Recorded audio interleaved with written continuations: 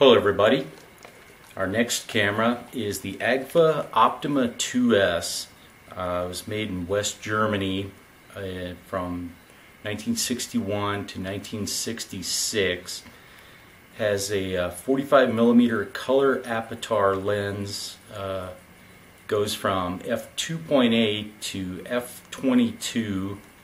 It's sitting in a Prontormatic shutter it doesn't say for sure in the manual, but from what I've found, it goes from 1 250th of a second to 1 30th of a second. Uh, focusing, there is uh, icons and distance settings, and it also has a coupled rangefinder uh, with the close-up parallax marks, just a couple of marks a little lower uh, from the top of the viewfinder has a selenium meter. This one seems to work, and I'll get to why I say it seems to work. Um, it's auto everything except for focusing.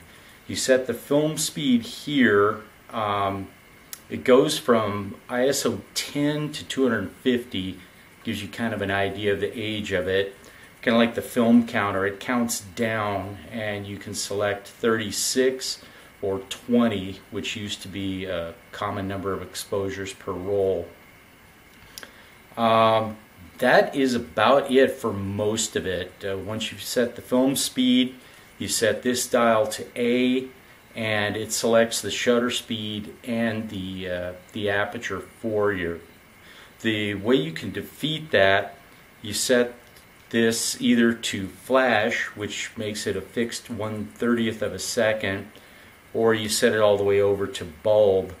And when you have it like that, then this lever on the bottom and this little window on the side of the barrel, then you can set your own aperture.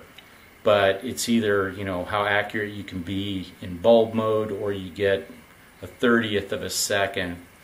Um, the reason I say, uh, you know, it seems to work, uh, if it's too dim, there's a, there's a little red circle in there and if you if it can get uh, the proper exposure it turns green. I'm not really sure how the mechanism works. It's mechanical of some sort.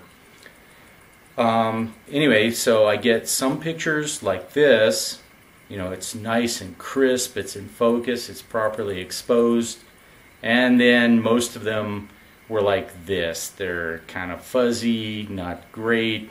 I have no idea what the difference is. I think this one has been worked on a bit. It's missing one of the, the front plates here. The screws seem to be in good shape.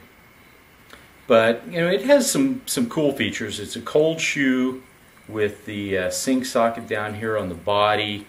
Uh, this is the shutter button. You bring it down halfway to get the reading from the selenium meter in the viewfinder and then all the way to uh, take the shot um, a slick, although you know not really that big of a deal.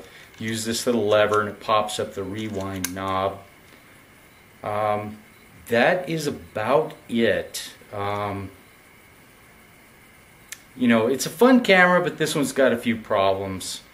Um, one thing I noticed, the icons for focusing are supposed to be on the top, with the actual scale distances on the bottom for when you're doing zone focusing but they're upside down on this one. That kind of tells me maybe somebody was working on it and didn't get it cherry.